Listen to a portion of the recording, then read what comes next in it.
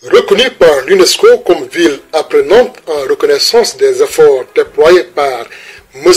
Barthélemy Toy maire de la ville de Dakar et son administration municipale en vue de faire de l'apprentissage tout au long de la vie une réalité pour tous.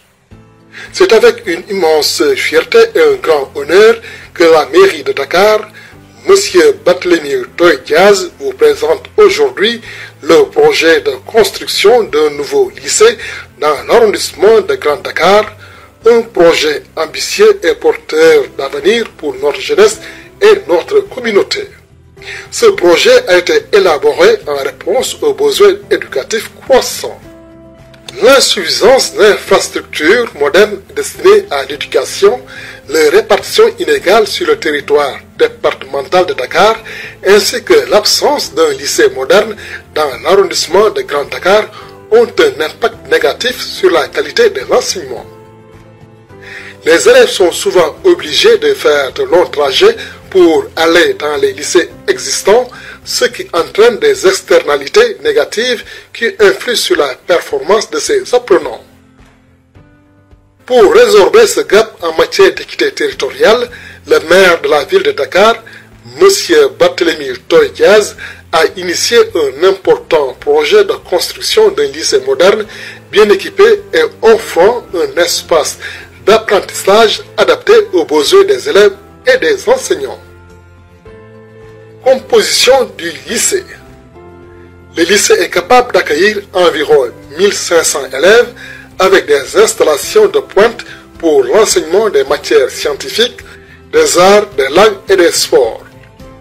Le lycée sera équipé d'une entrée principale avec un poste de contrôle pour la sécurité de l'établissement, d'un bloc administratif en rez-de-chaussée composé de quatre bureaux, d'une salle des profs et d'une salle de reprographie et d'archives, d'un bloc en rez-de-chaussée de centre de documentation et d'information composé d'une bibliothèque et documentation, d'une salle de lecture, d'une salle d'informatique, d'un bureau, de magasins, d'un jardin moderne et une grande cour de récréation, de deux terrains multisports, de deux blocs pédagogiques en R 2 composés de quatre salles de classe par niveau qui sont spacieuses, bien aérées et bien éclairées, dotées de tableaux interactifs, de projecteurs et d'autres technologies modernes.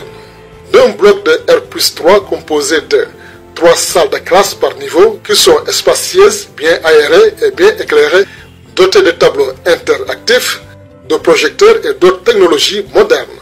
Il y aura également un laboratoire scientifique. Le lycée sera entièrement alimenté par l'énergie solaire photovoltaïque. Ce projet de montant de plus d'un milliard est entièrement financé par la ville de Dakar. Dans sa politique Dakar Bignubok, volet Dakar Ville Éducation, l'objectif est de créer un lieu de formation de qualité pour les élèves de notre ville. Nous croyons que ce lycée modernisé sera un atout inestimable pour l'arrondissement de Grand Dakar, non seulement pour le bien-être de nos jeunes, mais également pour la croissance économique future de notre ville.